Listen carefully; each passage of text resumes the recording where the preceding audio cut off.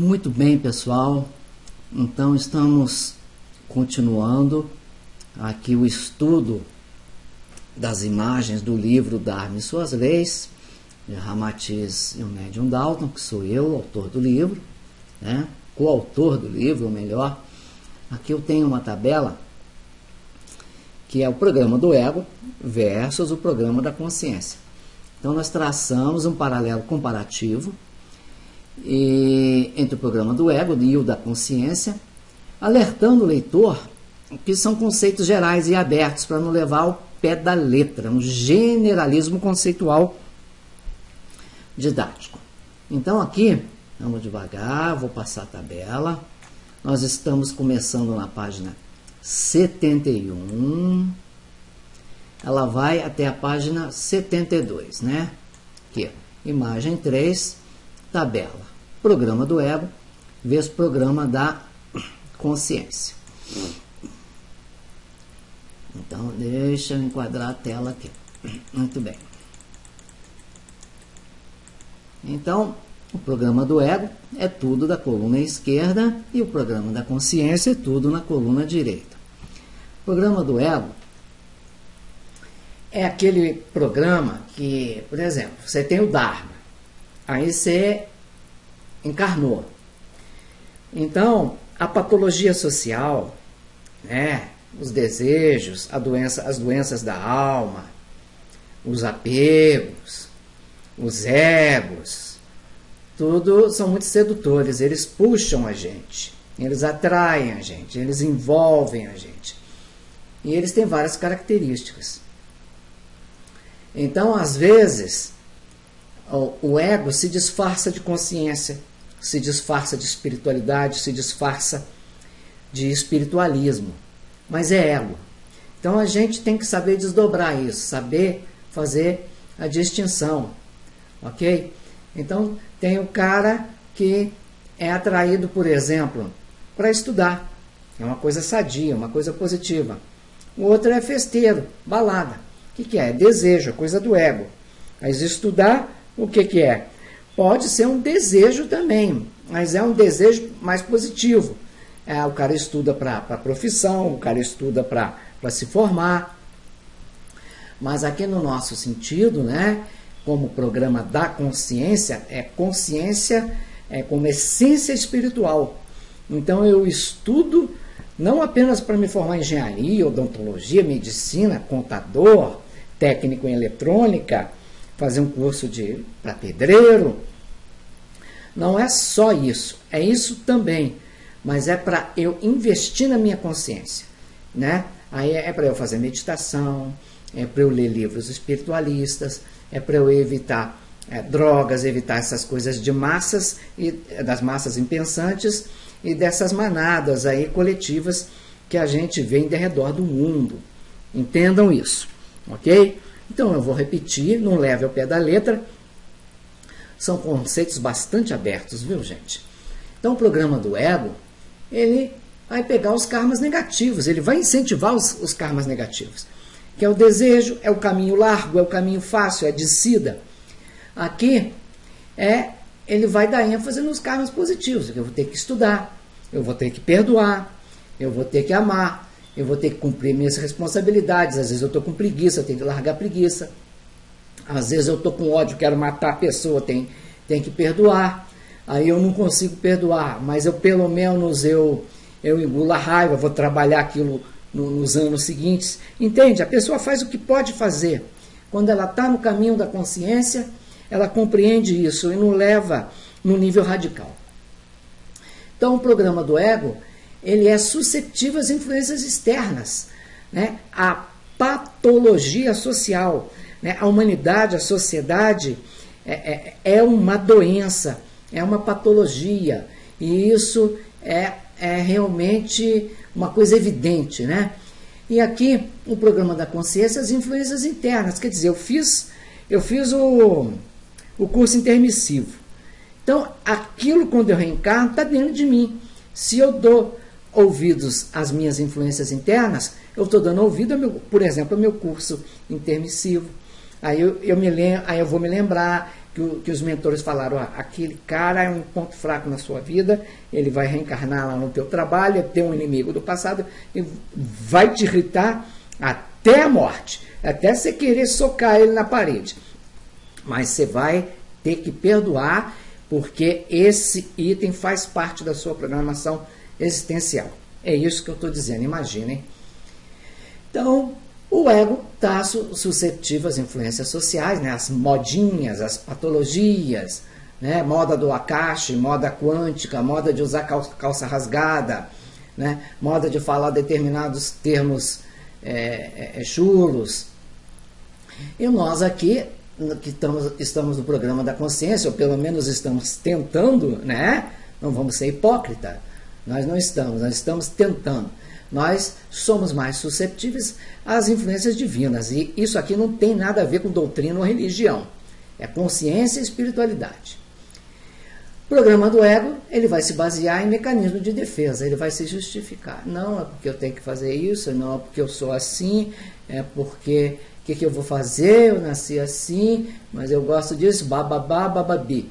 Aqui nós vamos fazer o que? Nós vamos mergulhar no autoconhecimento consciencial. Então, não que nós não tenhamos os mecanismos de defesa e não que não tenhamos esses desejos, nós temos também. Às vezes a gente quer ir para balada, quer até usar droga, né? quer até fazer umas, umas coisas desvirtuadas, a gente é humano. Aqui eu sou um autor que eu não sou hipócrita não, né? Eu assumo a minha humanidade relativa de ponta, né? Eu quero que você fique à vontade com você mesmo. Eu não estou aqui para pregar moralismo, estou aqui para fazer você se sentir um, um, um, ser humano aceito, principalmente aceito por você mesmo, não por mim. Então, o que, que a gente busca? O autoconhecimento consciencial. Aí você vai descobrir os seus desejos, os seus egos, os seus fardos. Reparem, gente, essa tabela, essas tabelas, várias que eu fiz comparativas no decorrer do livro, são sínteses muito poderosas. Se você for desdobrando, desdobrando, desdobrando, você vai longe disso aqui. Né? Então o programa do ego, ele vai dar asas às crenças limitantes. Né? Isso é simples demais. A crença limitante, nós temos também. Nós temos também tem aqueles traumas, aqueles negativismos que você tem, eu não posso, eu não consigo fazer, nós temos também. Mas isso aqui já é uma patologia generalizada, social generalizada, que a gente tem que fazer. A gente tem que identificar a crença limitante e, e perceber em si mesmo, né? Você com você mesmo, né? Ou se quiser, faz uma terapia, pede ajuda, né? Todos nós precisamos de ajuda já fiz muita terapia, já pedi muita ajuda. É. Então, você vai identificar suas crenças limitantes, por que, que você as tem, o que, que você precisa de fazer para identificá-las melhor, para se livrar delas. Aqui nós vamos para o outro lado, para as ousadias corajosas, mas é ousadias corajosas sadias dentro do autoconhecimento consciencial, a busca da influência divina, né? a busca das influências internas que o, o curso intermissivo semeou lá dentro do seu coração. Aqui a crença é, é, é limitante é, também vem muito de trauma e neurose. Aqui nós temos traumas e neuroses também, mas nós vamos ter a coragem de sair da zona de conforto e procurar as autocuras proativas. E procurar a cura dói, tá? E como não existe a cura, não é terceirizada, toda cura é uma autocura. Você só cura se você por dentro você se comprometer com a disciplina do próprio tratamento, da própria mudança, da própria reforma íntima. Isso é que é uma autocura. Então ela é proativa. Tá? Ninguém vai ficar te falando no ouvido, nem a mamãe, nem a vovó, nem o professor, nem o guru. Tá? É, é, não vai adiantar nada. Mas na hora que você realmente for proativo e decidir agir por você mesmo, mas não porque alguém falou, aí você vai começar a buscar o caminho da sua autocura e sair dessa, desse lodaçal mental que está aqui, emocional e energético. Então ele é estereotipado, estereótipo, né? ele segue os tipos padrão. Você vai em determinados meios, vamos pôr, né, meio de médico, eles têm um comportamento padrão, padrão uma fala é, cheia com os jargões específicos. Aí você vai nos, nos engenheiros, são outro. Você vai nos alcoólatras, são outro. Você vai nos viciados, são outros. Aí você vai. É, é, cada meio social tem seus estereótipos, né? A gente tem o estereótipo do sucesso, aquela coisa imbecil, né? De, de, de futilidade, de, de beleza, de roupa. Então, aqui a gente vai contra isso, a gente é rebelde, no sentido positivo. Aqui ele segue as patologias sociais, as modinhas. Aqui não, a gente é rebelde, não, eu não, eu não falo assim, eu não, não aceito essas modinhas quânticas, terapiazinha do, do Akashi, essas, essas bobeiradas todas. Eu sou rebelde, mas sou ponderado e eu sou confiante, sou uma pessoa equilibrada, né? Então, eles andam né, na, na mão das modas e patologia das massas impensantes. Então, o programa do ego está aqui. E o programa da consciência anda, eles andam na mão e nós andamos na contramão das massas impensantes. Ok? Então, eles vão para o lado esquerdo, nós vamos para o lado direito. Se eles vão para o lado direito, nós vamos para o lado esquerdo. Porque a gente é, é, é, é, é desgarrado. Nós, nós somos ao contrário. Você não pode ser muito adaptado nessa sociedade doente, senão você está doente também, já dizia Cristina Morte, né? Então eles se baseiam nos defeitos e limitações, porque eles acham isso normal. Nós vamos procurar o talento. Então, o talento é a capacidade de fazer. A virtude é algo do bem, é virtuoso, é divino, é pró-amor. Ok? Então, talento e virtude são coisas bastante distintas pelo menos aqui na, no meu ponto de vista. Então, eles estão na inércia consciencial, da consciência espiritual, e nós já estamos buscando a proatividade consciencial. Aqui, eu estou aqui fazendo um videozinho de graça para você. Ó.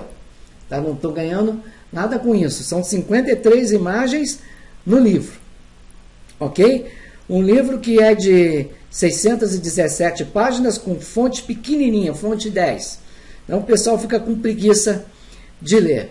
E, eu ainda, além de escrever tudo isso, né, e ganhar a mesma coisa que eu fosse escrever um livro fino com fonte grande, que, que é molezinha, não, eu escrevo livro grosso, ainda me preocupo com, com o leitor, ainda quero é, valorizar meu leitor, ainda faço esse videozinho. Imagina, 53 vídeos detalhadamente, explicadinho. Então, eu estou aqui na minha proatividade consciencial. É um voluntariado. Isso que eu estou fazendo é voluntariado. Não estou ganhando nada. Né? Eu espero que Ramatiz anote uns pontinhos para mim lá no céu, cara. Né? Então, o, o, programa ah, do, do ego é preso a doutrinas, né? doutrinas, é, religiões, grupos evolutivos e outros. O que, que é grupo evolutivo? Por exemplo, o cara fala, ah, eu sou da teosofia, a outra eu sou da gnose, ah, eu sou da conscienciologia. Então, esse é grupo evolutivo, né? Eles criam ah, um rótulo, eles levantam um muro, uma cerquinha, e quem está dentro está salvo e é melhor, e quem está fora não é. Ok? Então, nós somos o quê? Nós somos livre pensadores, nós somos mais abertos, nós somos universalistas. Mas nós podemos participar. Aí você vai falar, mas Dalton, eu sou leitor do teu livro e eu sou da Umbanda, eu amo a Umbanda. Não, você pode participar da Umbanda se você quiser da gnose, da teosofia, do espiritismo. Não, você pode ser evangélico, católico, não importa, você pode participar. Mas você não engole aquele pacote todo, você questiona, você não é boi de manada, nem vaca de, de presépio, você fala isso eu concordo, isso eu discordo. Indo para o termo vulgar, você não é otário, né? você pensa, você não deixa nego te fazer lavagem cerebral, te induzir te convencer. Né? Tem muito disso na, nas religiões e até nas empresas, gente. Então você é sempre um pensador, um refutador, um questionador, um pensador. Então, a, a, o programa do ego é baseado em preconceito. Preconceito é uma coisa séria nesse planetinha atrasado. Até nós que estamos aqui falando, eu e você, nós temos preconceitos. Só que esses preconceitos a gente tem que começar a escavar fundo na alma para compreendê-los e para dissipá-los, transformá-los em, em, em, amor, em inclusão, porque a gente tem preconceito inconsciente, gente. Eu estava vendo um documentário na Netflix chamado Sem Humanos. A Netflix é péssima para filmes, mas excelente para documentários. E o episódio 4, no 4 ou 5, eu acho que é o 4, Sem Humanos, fala sobre os preconceitos. E são episódios excelentes, deixa eu ver, de, de 40 minutos. São curtinhos, eles fazem uma estatística, uma pesquisa em 100 pessoas. Cada episódio é uma pesquisa diferente, por isso que chama 100 humanos. Às vezes eles fazem pesquisa de comportamento, coisa muito interessante. Essa do preconceito, eu falei, pô, não é mesmo aí. É, é, eu sempre me digo universalista, é, sou um pacifista, né, defensor dos LGBT, odeio racismo, mas eu tenho um pouco dessas coisas lá dentro também. Então, o que, que é isso, gente? É a coragem e a ousadia você mergulhar no autoconhecimento consciencial. Às vezes dói. Você vai ver um negócio desse e você fala, cara, eu não me via dessa forma. Eu achei que eu estava bonitinho, que eu estava bonzinho, mas não, olha só, eu tenho essa esse, esse defeito, essa fissura, eu tenho essa babaquice aí na alma também, mas tudo bem, eu vou me conscientizar disso, eu vou trabalhar e vou melhorar. É por isso que você está na coluna da direita, eu estou na coluna da direita. E, e as massas decrépitas e impensantes estão na coluna da esquerda, cara. E isso não é ego, não é arrogância, não. Isso é constatação. Né? Então, eles são ligados nos, nos preconceitos, a gente é ligado no, no, universalismo. Nós não somos per, perfeitos. É isso que eu estou falando agora, mas nós procuramos, nós trabalhamos, a gente passa o arado dentro da alma, né? E a gente detona tudo para reciclar aquilo ali, para fazer aquela alquimia consciencial, para transformar o velho homem de barro no novo homem de ouro, né? Eles da coluna da esquerda, do programa do ego, eu chamo de fazem clubismo consciencial. Então, é quando aquela linha evolutiva que era para ser legal, né? Ah, eu sou da teosofia, eu sou da conscienciologia, mas a nossa é melhor e a sua é burra, a sua é inferior. Aí fez o clubismo, clubismo consciencial. Lembra que eu falei, ó, você pode participar, mas nunca engole o pacote todo. Nem nem cai nessa nesse vacilo aqui ó, do clubismo consciencial. Você diz para você mesmo, a minha linha é boa, é para mim. As outras linhas são boas para quem as escolher. Cada macaco no seu galho. Cada um tem afinidade com uma opção, gente. Cada um vibra numa frequência. Cada um tem uma perspectiva. Cada alma tem uma idade. Uma alma é jovem, a outra é velha. A gente tem que compreender isso. Tudo é ferramenta, nada é fim. Não importa se o cara é ateu, às vezes ele tem mais caráter, é mais evoluído que o, que o cara lá do 33 grau, lá na, na maçonaria, lá da, da Rosa Cruz, e aí? Entende? Então nós procuramos o abertismo consciencial. A gente quer é, é, destruir as bandeiras, as, as cercas, a gente quer união, fraternidade. Coluna da esquerda, programa do ego, medo e, e ou ignorância sobre o parapsiquismo. Então esse livro aqui a gente estuda sobre o parapsiquismo também, que a gente não tem medo, né? A gente não nega.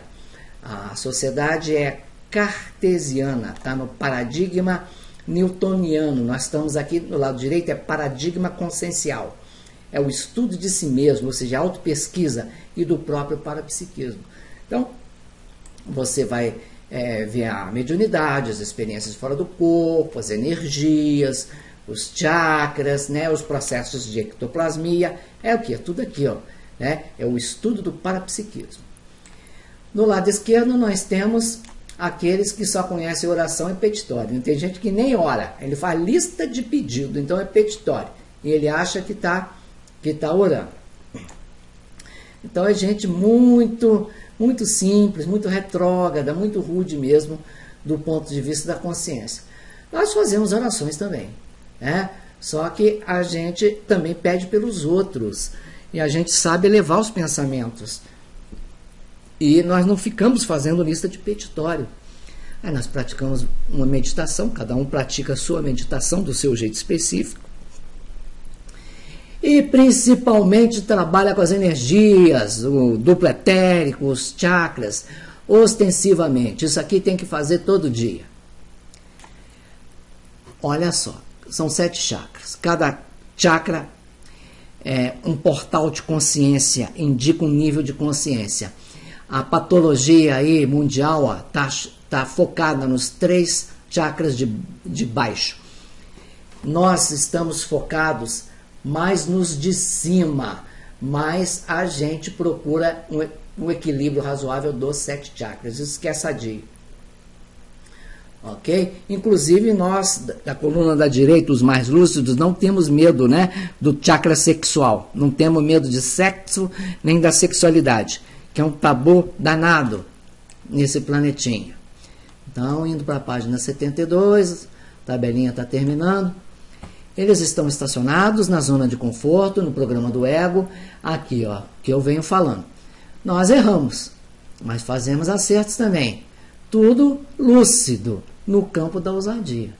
Quer dizer, a gente erra. Você tem que reconhecer teu erro e partir para o acerto, partir para a correção, partir para o aperfeiçoamento.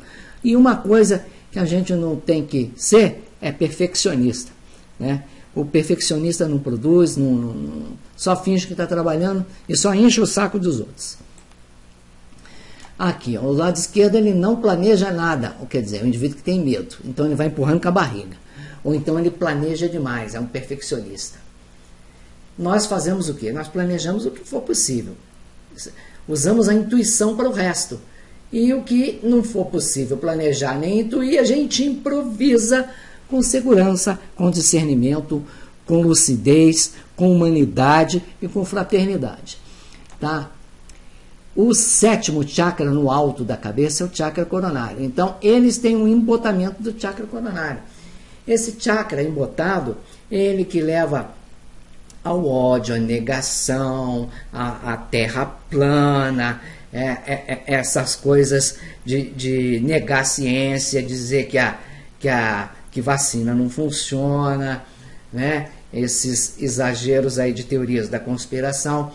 Né? É, gente que viaja demais na maionese tem um embotamento do chakra coronário, gente. Às vezes é para mais ou para menos. Né? Nós procuramos uma ampliação do chakra coronário. Muito da mediunidade intuitiva que eu e outros médios de Ramatiz dispomos ocorre basicamente através do chakra coronário.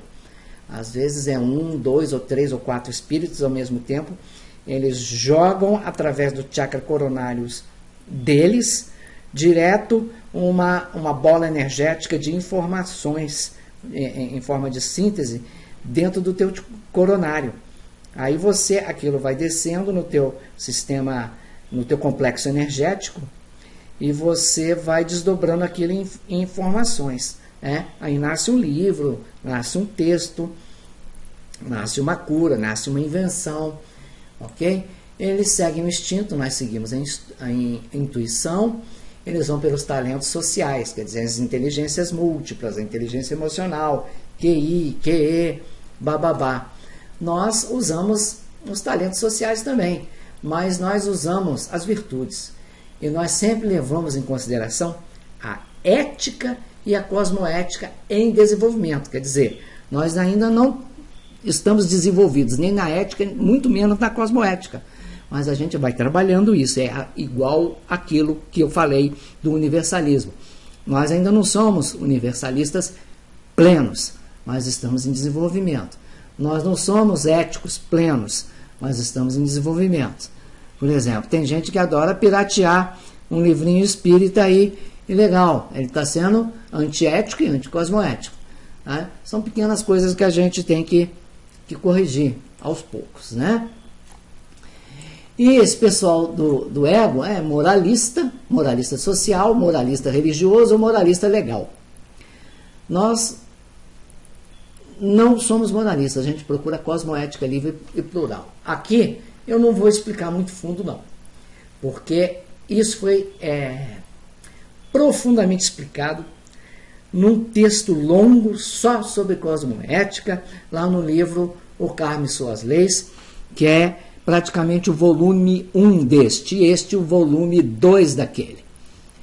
Eles levam para o intelectualismo frio e nós para a intelectualidade amorosa. É, tem muita gente que é muito inteligente, é inteligente mesmo, é culto, e são frios no trato com semelhante, são cínicos, são debochados, são sarcásticos, são uns babacas chiques, ok? E nós podemos ter todo esse cabedal, todas essas ferramentas, mas a gente procura a fraternidade, a amorosidade né? e a afetuosidade. Esses intelectuais têm um diâmetro no chakra frontal menor, mesmo que ele seja um intelectual, que ele tenha o chakra frontal desenvolvido, mas ele é desenvolvido no comprimento. O cara às vezes é intelectual, mas aí ele tem um, um chakra frontal é longo, quer dizer, potente de qualquer forma, mas com diâmetro pequeno. E isso acaba que faz, que, que funciona também, porque o, o, o chakra coronário no alto da cabeça também está tá entupido, está embotado. Uma coisa está ligada à outra. Se ele desbloqueasse o chakra coronário, esse chakra frontal, praticamente ele se dilatava também. Nós já temos o, os chakras frontais com diâmetros maior. Então nós somos pessoas mais flexíveis, eles são mais radicais, mais intransigentes né, mais fanáticos. Nós somos mais razoáveis. Eles são focados em ter razão, nós somos focados em aprender com todos. Quer dizer, o cara que é inteligente, ele tem a capacidade de aprender até com quem sabe menos do que ele. Né? Então é melhor aprender do que ensinar. No lado esquerdo, no programa do ego, então eles defendem o grupo evolutivo.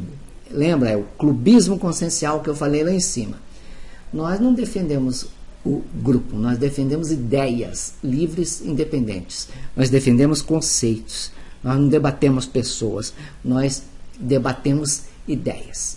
Então, essa é a imagem 3, a tabela programa do ego versus o programa da consciência. Eu espero que você tenha entendido e gostado. Um abraço aí do, do Dalton.